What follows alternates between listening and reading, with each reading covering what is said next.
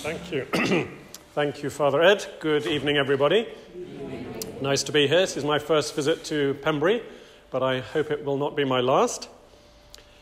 So, I've been given this title, On Earth as It Is in Heaven, this particular clause of the Lord's Prayer. Uh, and Father Ed said that I might angle it towards C.S. Lewis, given that that's my special field of interest. Um, so, if you were expecting a particularly erudite biblical theological unpacking of the Lord's Prayer, uh, you've come to the wrong event. but if you want an exploration of the term heaven and how C.S. Lewis understood it in his writings, um, hopefully you will leave this evening thinking that you have come to the right event.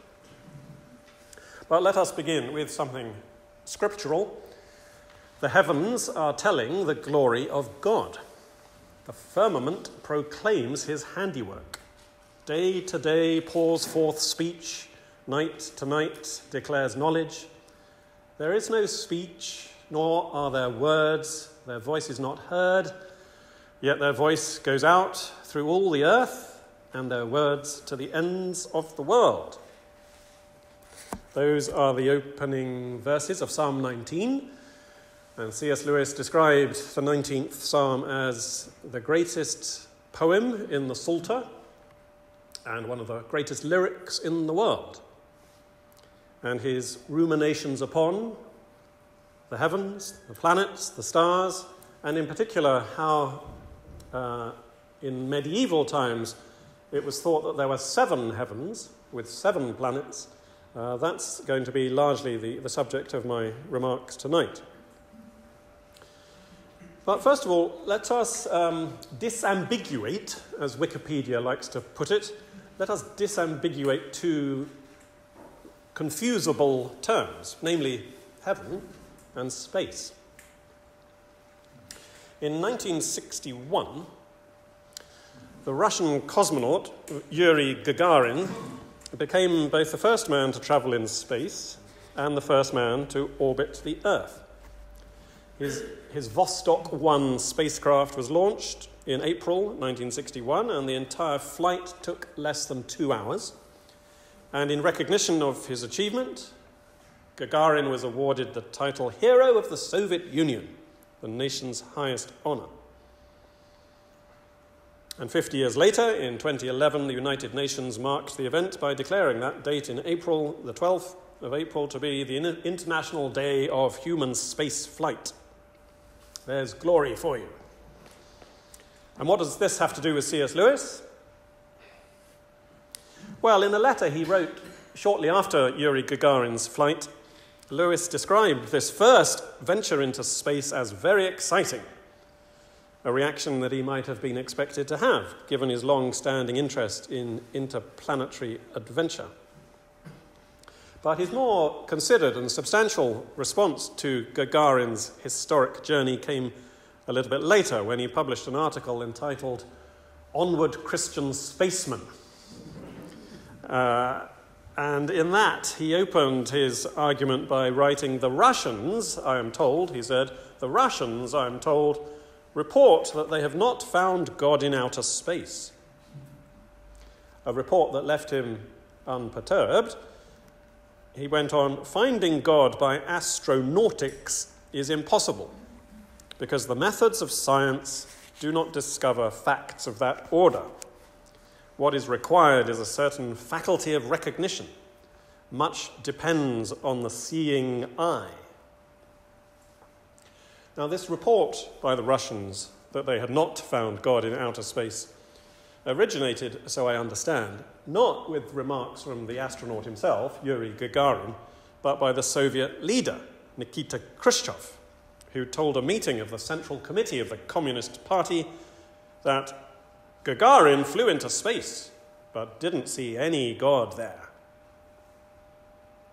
But it wasn't long before Khrushchev's words about Gagarin were attributed to Gagarin and now every meme artist in the world assumes that he did utter that line, I see no God up here. But why would the Russians think that God might have been found in outer space?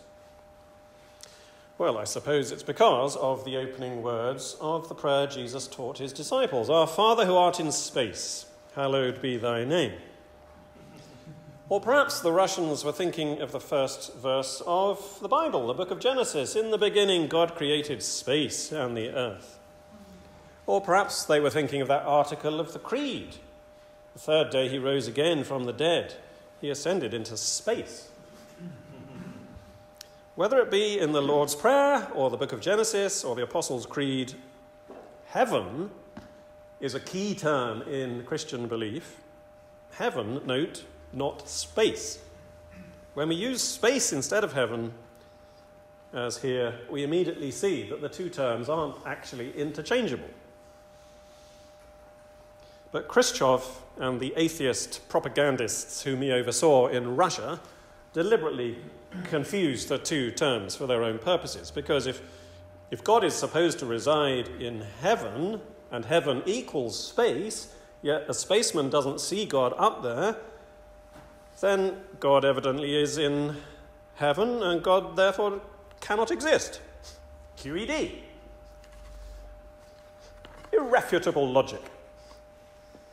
But the Russians' linguistic sleight of hand does raise a real question. Why should we not say space instead of heaven? What really distinguishes these words from each other? And this was a question that greatly exercised C.S. Lewis. In his book Miracles, he, uh, he writes this We may, he said, conveniently distinguish four senses of the word heaven. One, the unconditioned divine life beyond all worlds. That is, you know, God in his own eternal self. Two, blessed participation in that divine life by a created spirit. So the, the perfected saints in heaven, they go to that heaven. They participate in God's own life. They become partakers of the divine nature. Or three, a slightly larger sense of heaven, by which Lewis means the whole nature or system of conditions in which those redeemed human spirits can enjoy such participation fully and forever. So there we might think of heaven as, you know, a, a kingly court, um, you know, the, the mansion, the place of many mansions that Jesus goes ahead to prepare a, prepare a place for us in heaven. And fourthly, Lewis says, the other meaning of heaven is simply the physical heaven, the sky, the space in which earth moves, the canopy over our heads. And he goes on in Miracles and says this that we shouldn't be too worried if, when we use heaven theologically in, in one of those first three senses, that the picture we have in our mind is actually the fourth sense the canopy over our heads. He says, It's not an accident that people, however spiritual, should blend the ideas of God and heaven and the blue sky, or indeed the night sky. It is a fact, not a fiction, that light and life giving heat do come down from the sky to the earth. So the analogy of the sky's role to begetting and of the earth's role to bearing is sound as far as it goes. The huge dome of the sky is, of all things sensuously perceived, the most like infinity. And when God made space and worlds that move in space, and clothed our world with air, and gave us such eyes and such imaginations as those we have, God knew what the sky would mean to us. And since nothing in God's work is accidental, if God knew, he intended. So that's quite an important point, I think, that heaven is very difficult to conceive of, except by reference, first of all, to the physical thing above our heads. And we shouldn't be ashamed of that. We, should, we shouldn't try to skirt round it. God has given us the heaven in order to symbolize for us that spiritual reality which is somehow not exactly the same as that, though there may be some sort of overlap. It's hard to say. But this question about the space and the heavens really did occupy quite a lot of Lewis's mind and imagination. Um, he, he wrote a trilogy of interplanetary adventures called the Cosmic Trilogy. This is the first, the first novel in that trilogy out of the Silent Planet, and it's set on Mars. And in the second book of the trilogy, uh, the hero of the story goes to Venus. And in the third book, which is set on Earth, the, the planetary powers, the, the angels, the, the, the, the angelic gods and goddesses that steer the planets, they come down to Earth uh, to bring about the end of the whole trilogy. And uh, towards the beginning of this story, when the hero, whose name is Ransom, Elwin Ransom, he's a Cambridge uh, professor, he's been kidnapped and he's been taken to Mars by the villains of the story. Uh, he looks out the window of his spaceship and he marvels, he glories in the picture that meets his eye. We read this passage. A nightmare long engendered in the modern mind by the mythology that follows in the wake of science was falling off Ransom. He had read of space. At the back of his thinking for years had lurked the dismal fancy of the black, cold vacuity, the utter deadness which was supposed to separate the worlds. He had not known how much it affected him till now, now that the very name space seemed a blasphemous libel for this empyrean ocean of radiance in which they swam. He could not call it dead. He felt life pouring into him from it every moment. No, space was the wrong name. Older thinkers had been wiser when they named it simply the heavens, the heavens which declared the glory. Psalm 19 being alluded to there. So I don't know what you typically think of when you look up at the night sky, when, or when you think of the term space. Lewis was of the view that the term space, which is really a, a, a 17th century word, it's quite a modern term in the history of the English language. Um, he thought that the introduction of that term space had introduced into the human imagination a whole new concept of emptiness, hollowness, vacuity, blackness, deadness, just empty space. Whereas before the 17th century, before, before the astronomical revolution that Copernicus brought in, you couldn't have talked about space. That word was literally not available to you in that sense. You would have looked up not into space, you would have looked up into the heavens, the heavens that declare the glory. Space is the wrong name. Space is a blasphemous libel, we're told. So it's highly ironic, actually, that this uh, trilogy of stories that Lewis wrote uh, is now commonly referred to by publishers as the Space Trilogy.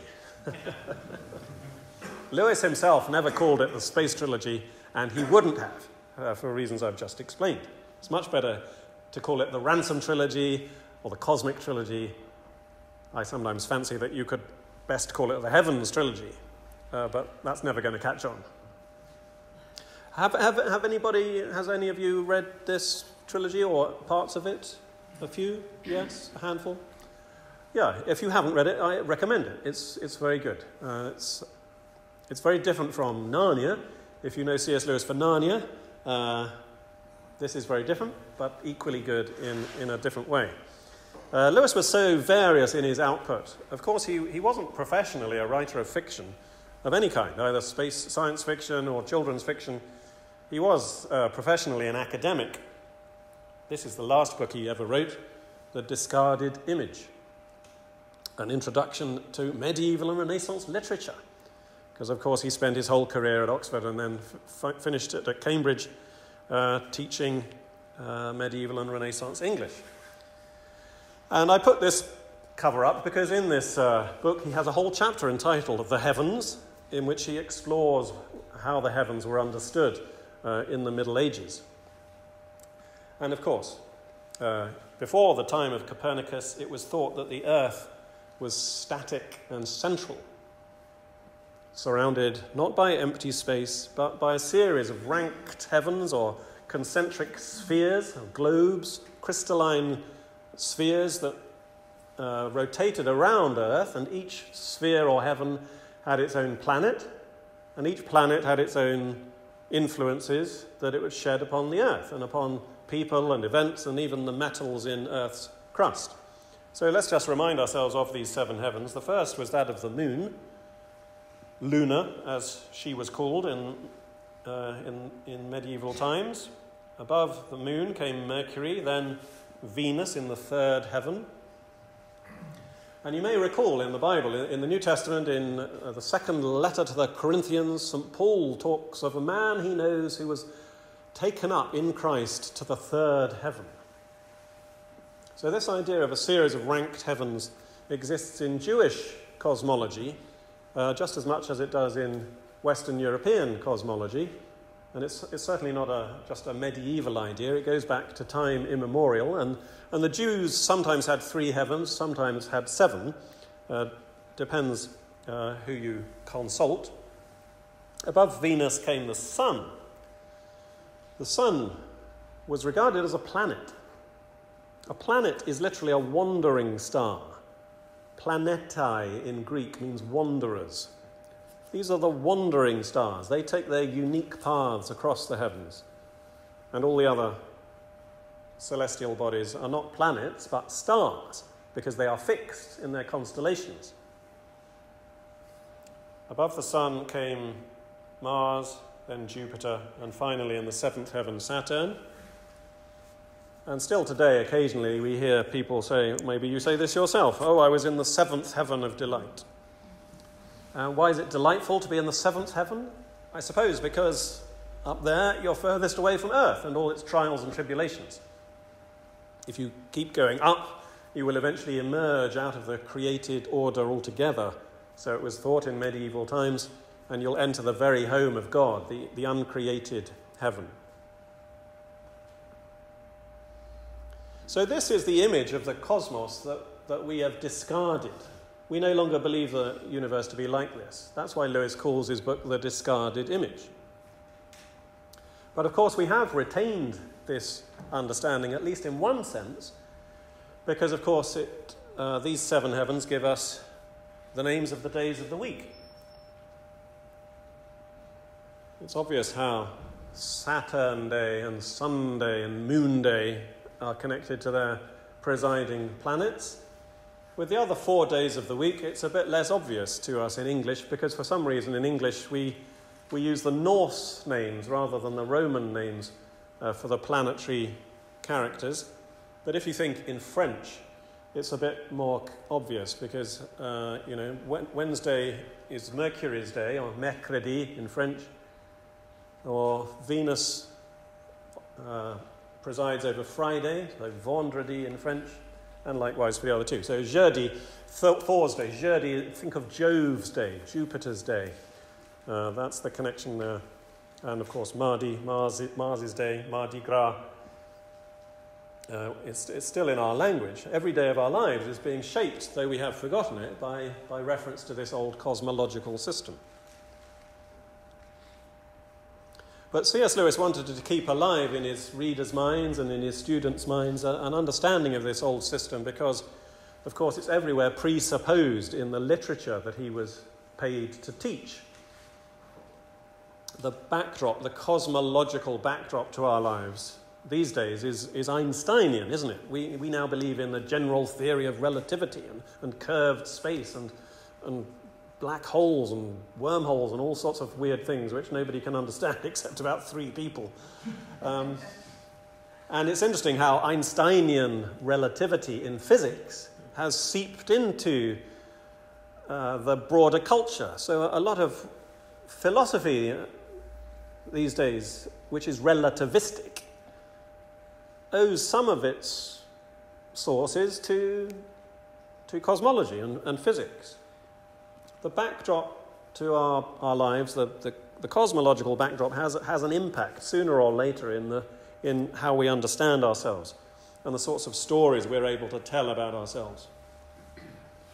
But in the Middle Ages, when you still believe that the earth was the center of everything and surrounded by the seven heavens, Well, that gave quite a different backdrop to, to literature and the arts and philosophy. And perhaps the greatest poem of the Middle Ages was Dante's masterpiece, The Divine Comedy. And in the Divine Comedy, the pilgrim mounts up through the seven heavens in his ascent to the throne of God, to the very heaven itself.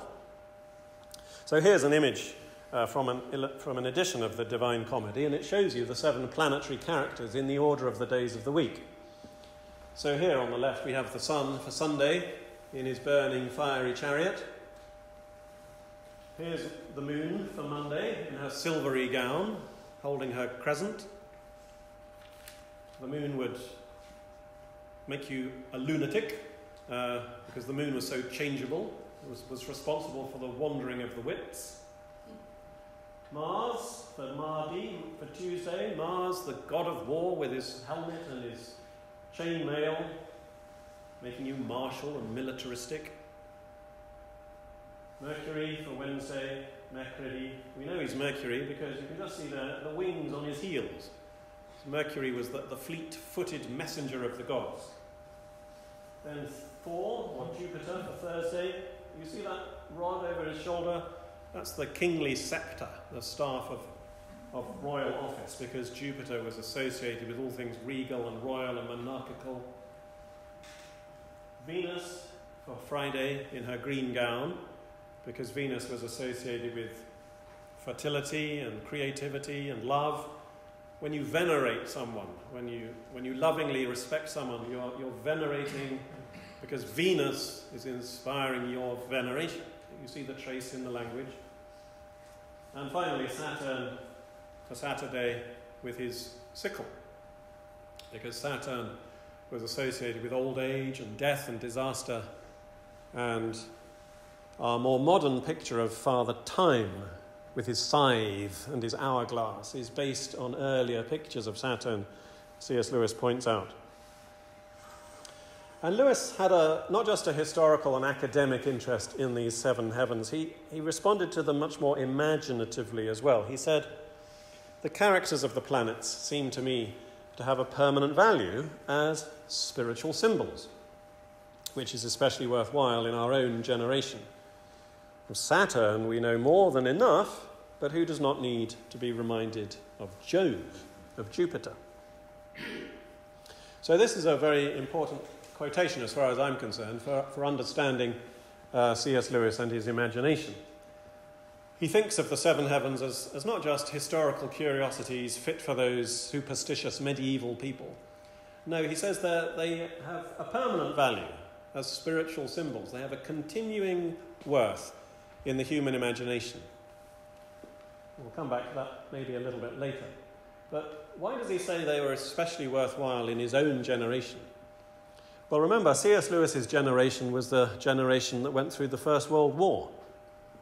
Lewis was a teenage officer in the British Army during the Great War, and he served in the French trenches for six months before being blown up and very nearly killed in the spring of 1918 and that's why he says of Saturn, we know more than enough.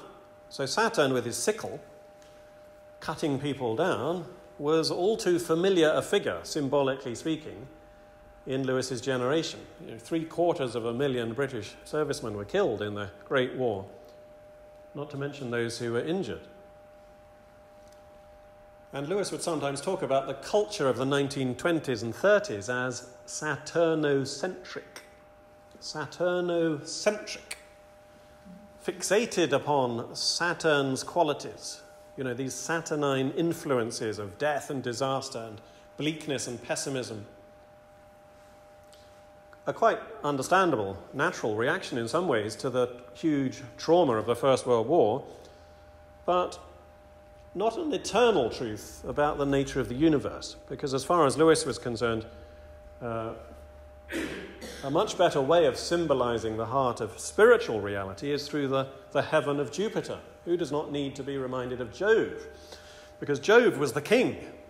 He was this regal and magnanimous, festive, prosperous symbol. And so I mention all this because it's not, not just, you know, of academic interest, I hope, but also of imaginative traction because Lewis's best known works, the seven Chronicles of Narnia, are informed by, uh, constructed upon, infused with these seven planetary spiritual symbols. At least that's what I believe. That's what I uh, have written about extensively in, in, in, my book, Planet Narnia. That's what the BBC documentary was all about. Um, rather astonishingly, Lewis kept this secret. He never told anybody that this was what he was up to. And it just burst upon me one night when I was doing my PhD researches into C.S. Lewis. And once you begin to look at it uh, and see it, you, you can't not see it. It's so obvious. It's staring us in the face if we have eyes to see and ears to hear. Now, I don't have time to go through all seven Chronicles, uh, but let me very quickly give you an introductory taste of, of what I mean about this.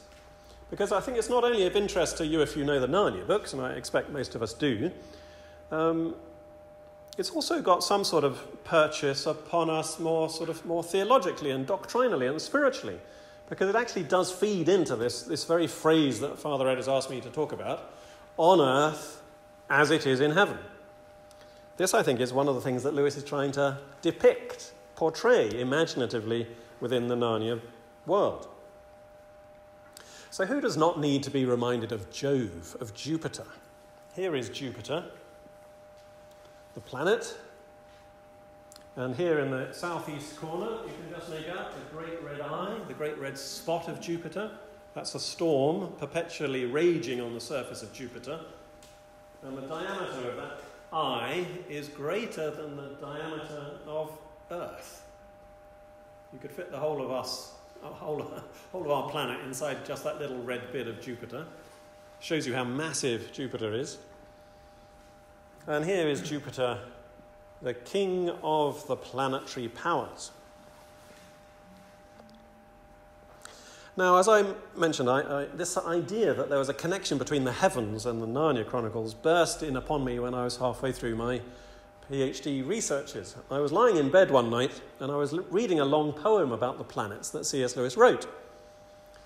Long, complicated poem, all about the seven heavens.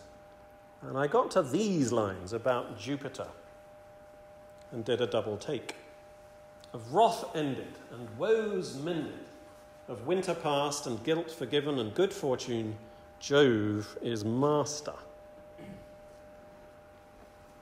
Now, I did a double take because, of course, the central uh, event in The Lion, the Witch, and the Wardrobe, I'm sure you remember this, is the, pass- is the passing of winter. The White Witch has made it always winter and never Christmas.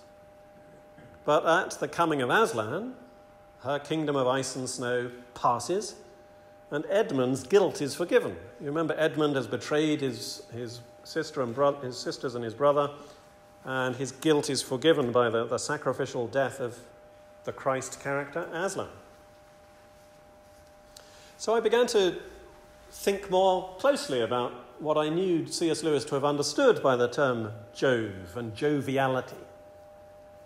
There's strong themes of kingship, as I've already mentioned.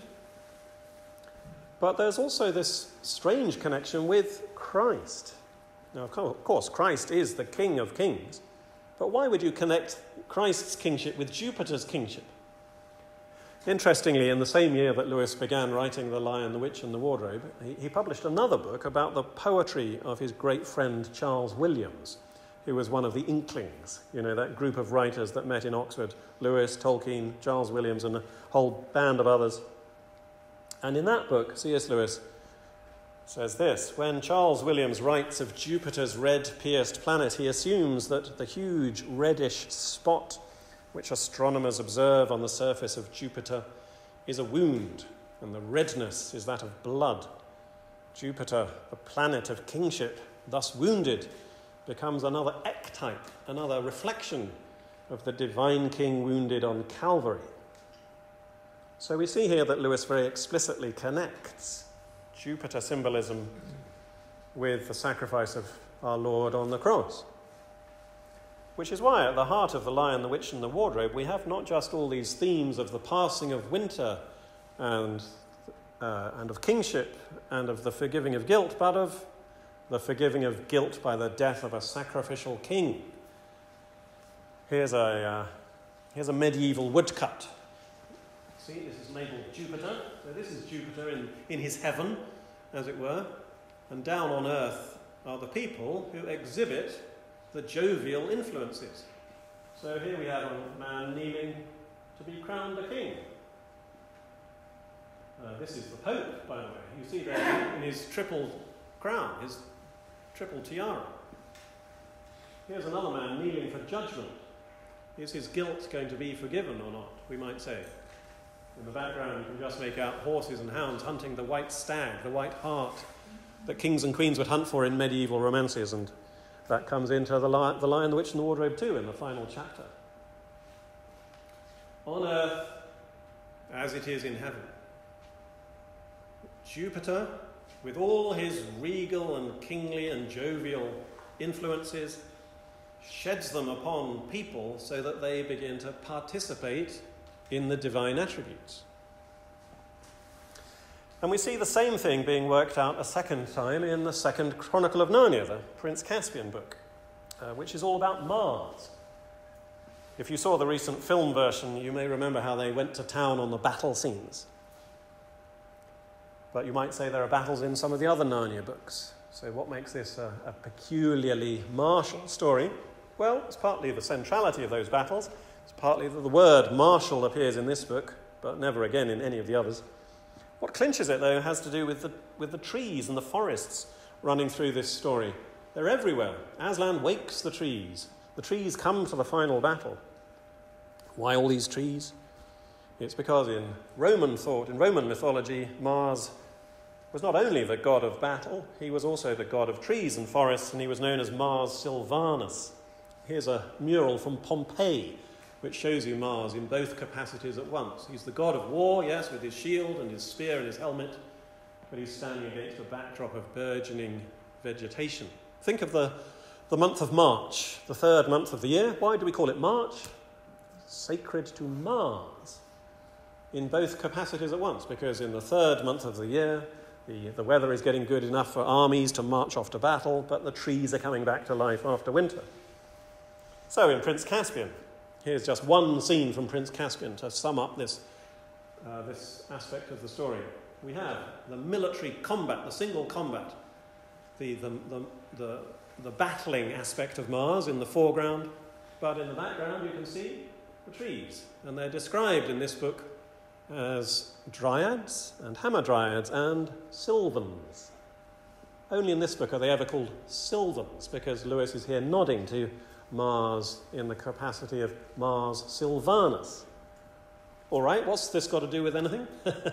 well, Aslan is the true Mars. He's the true Lord of hosts, mighty in battle, to use a biblical term. And the boys in this story harden into knights as they come under his spirit, under his influence. And the girls romp in the, in the revelry with the swaying trees and the growing vines. On earth, as it is in heaven they begin to participate in the divine nature. Thirdly, The Voyage of the Dawn Treader is the Sun Book, which you could really guess from the title alone, because this is a story about a journey towards the dawn, the place of the rising sun. And this is a book full of gold imagery and light imagery and sunshine. Remember that uh, episode on the island with the magic pool that turns everything to gold. Gold, of course, was the sun's metal. And when the children in the story realize that they, get, they could become fabulously wealthy thanks to this magic water, Aslan suddenly appears on the hillside and shames them into silence. And we're told that Aslan was shining as if in bright sunlight, though the sun had in fact gone in. Because Aslan in this story is figured as the true sun. He's the light of the world, again, to use a biblical term. Jesus calls himself the light of the world in John's Gospel. Light imagery, gold imagery, but also dragon imagery. let me go back a minute. You see, the ship itself is shaped like a dragon. You remember how Eustace is turned into a dragon? In Greek mythology, the god of light was Apollo, and he famously slew dragons. That was what he did. If you know your Homer, Homer's hymn to Apollo, he went around killing dragons. And, and so when Eustace is turned into a dragon, this is a still from the recent film version, this is Eustace's eyeball after he's been endragoned. You can see the approaching figure of Aslan. He's going to come and rip off the dragon skin and turn Eustace back into a boy again. Because that's what the sun influence did. It killed the dragonishness in our nature. And at the end of the story, you may remember, as they reach the eastern end of the world, the water becomes like drinkable light. And they take it down into themselves in deep, enriching draughts, and they can stare straight into the sun. They take on all these solar properties themselves, the children, as they relate to Aslan, the Christ figure in their world, who is depicted by means of solar imagery. Let me just list the final four and then I'll shut up and we can have a quick question or, uh, a question or two. The Silver Chair, of course, is the moon book. You could guess this from the title, because the moon's metal was silver. This is a book full of wetness and wanderings and lunacy. And The Horse and His Boy is the Mercury story, full of words, language, messages, running, twins, boxing, theft, and all that strange uh, cluster of mercurial images and Aslan in this book is the Word of God. Again, to use a, a biblical term. I mean, don't, don't, get hung up on the, on the classical mythology and the medieval astrology. All of this is rooted, finally, in Lewis's imagination in the Bible. But he just goes a long way round through his, his classical knowledge and his medieval expertise, enriching his, his biblical theology as he goes. And the Venus book is the magician's nephew. This is the story in which Narnia is created. This is the story of the first joke and the command to love. And the last battle, of course, is the Saturn story, because in this story, all the characters who are alive at the start of the tale are dead by the end of it. And it is, in fact, Father Time with his scythe and his hourglass who brings Narnia to an end. In the great Narnian apocalypse. This is the Narnian version of the book of Revelation. Aslan as the judge of all, bringing in the end times. So, why would C.S. Lewis do this, uh, assuming this theory is correct? Well, I think it is in large part for the very reason it's sort of encapsulated in that phrase from the Lord's Prayer on earth as it is in heaven. As in the influences of the planets, which Lewis understood symbolically. He, he wasn't a literal believer in astrology. He, this is all poetry and symbol, but on in earth, in earth as in heaven. You become jovial in The Lion, the Witch, and the Wardrobe. You become martial in the Prince Caspian story. You become solar in the Dawn Treader. You take on the divine attributes. You grow into relationship with, with God, depicted as Aslan. And Aslan himself sums up the planetary character in his own person. The heavens are telling the glory of God. The firmament proclaims his handiwork. Day to day pours forth speech. Night to night declares knowledge. There is no speech, nor are there words. Their voice is not heard. Yet their voice goes out through all the earth, and their words to the ends of the world. Thank you very much.